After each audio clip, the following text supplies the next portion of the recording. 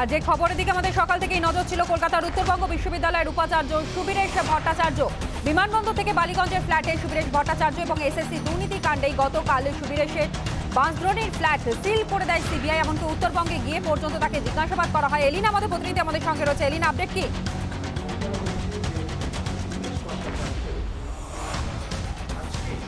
দেখো তো নয় তোমাকে প্রথমেই জানিয়ে রাখব, আজ সকালে এগারোটা একচল্লিশ নাগাদ তিনি কিন্তু দমদম বিমানবন্দরে নামেন।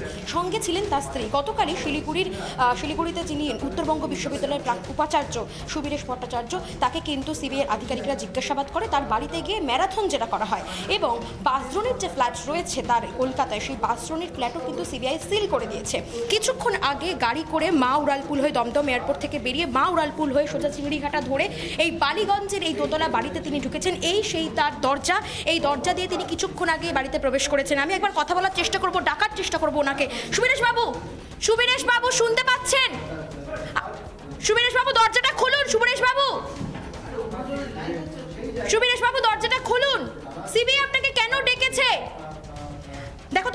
তোমাকে জানিয়ে রাখব, আমরা কিন্তু উনি যখন গাড়িতে প্রবেশ করছিলেন, দমদম এয়ারপোর্ট থেকে যখন তিনি গাড়িতে উঠছিলেন, তখনও কিন্তু ওনাকে আমরা জিজ্ঞাসা করেছিলাম যে, কেন সিবিআই আপনাকে জিজ্ঞাসা করল এবং সিবিআই কেন আপনাকে এইভাবে কালকে ম্যারাথন জেলা করল? আমি আরও একবার চেষ্টা করব, তনয়া।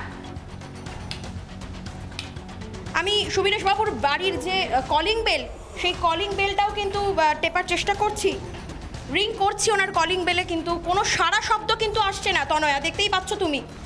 আমি বারংবার রিং করছি। সুবীরেশ বাবু, দরজাটা খুলুন। কেন আপনাকে সিবিআই কালকে ম্যারাথন যেটা করল? কেন আপনি কি নিজাম প্যালেসে যাবেন? সুবীরেশ বাবু, একবার দরজাটা খুলুন।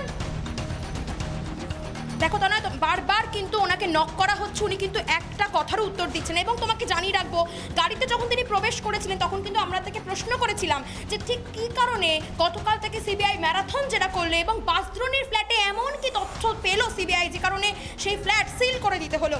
এবং আজকে তিনি সকালবেলা একদম একদিনের মাথায়, একদিনও বলা যেতে পারে না, কয়েক ঘণ্টার মাথায় তিনি স্ত্রীকে নিয়ে সোজা কলকাতায় চলে এলেন। ঠিক কী কারণে? তাহলে কি তারে তাকে সিবিআই আধিকারিকরা নিজাম প্যালেসে হাজিরা দেওয়ার জন্য বলেছে? এসএসসি দুর্নীতি নিয়োগ মামলায় তাহলে কি সরাসরিভাবে সুরেশ ভট্টাচার্যের কোনো যোগসূত্র রয়েছে? সেটা কি এখন এখনও কিন্তু পরিষ্কার নয় তা আমি আরও একবার চেষ্টা করব ওনার কলিং বেলটা বাজানোর। সুবীরেশ বাবু, দরজাটা খুলুন। সুবীরেশ বাবু, কেন জন্য কালকে সিবিআই আপনাকে ম্যারাথন জেরা করল। সুবীরেশ বাবু দরজা খুলুন। বারংবার বারংবার তনয়, আমরা কিন্তু তাকে জিজ্ঞাসা করার চেষ্টা করেছি। এবং তিনি যে উত্তর দিয়েছেন, দমদম এয়ারপোর্ট থেকে নেমে তিনি আমাদের উত্তর দিয়েছেন। রিপাবলিকের করা প্রশ্নের তিনি উত্তর দিয়েছেন যে, সিবিআই তাকে ডেকে পাঠাননি। তিনি শুধুমাত্র নিজের কাজের জন্য তিনি কলকাতায় আজকে এসেছেন এবং কলকাতায় এই নিজের যে বাড়ি, এই যে বালিগঞ্জ প্লেস এই বালিগঞ্জের এই বাড়ি, দোতলা বাড়িতে তিনি রয়েছেন। কিছুক্ষণ আগে এই গেট দিয়ে, এই সেই গেট দিয়ে তিনি প্রবেশ করেছেন নিজের বাড়িতে। এগারোটা একচল্লিশ নাগাদ দমদম এয়ারপোর্টে তিনি নামেন এবং শিলিগুড়ির উত্তরবঙ্গ বিশ্ববিদ্যালয়ের উপাচার্য সুবীরেশ ভট্টাচার্য তথা এসএসসির প্রাক্তন চেয়ারম্যানকে কিন্তু গতকালই সিবিআইয়ের আধিকারিকরা তার শিলিগুড়ির ফ্ল্যাটে গিয়ে তাকে জিজ্ঞাসাবাদ করে ম্যারাথন যেটা করা হয় তাকে। এসএসসি দুর্নীতি নিয়োগ মামলায় তার সঙ্গে একেবারে তাই এলিনা এবং তারপরে আমরা দেখেছি আজ সকালে একেবারে বাগডোগরা বিমানবন্দর থেকে তিনি সোজা চলে আসেন কলকাতায়। কলকাতা এয়ারপোর্টে আসবার পর সংবাদ মাধ্যমের মুখোমুখি হয়ে তিনি কি জানিয়েছেন?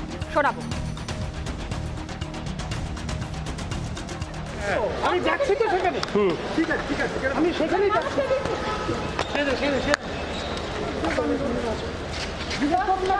ওখানে কি পেয়েছে আপনি আপনি কি এখন বাসজন জিজ্ঞেস করুন না কালকে গিয়ে আপনি আপনার বাসজনের ফ্ল্যাট তো স্যার সিল করে দেওয়া হয়েছে। আমি বলব না তথ্য আমি জানি। দুর্নীতির সঙ্গে আপনার কি যোগাযোগ রয়েছে?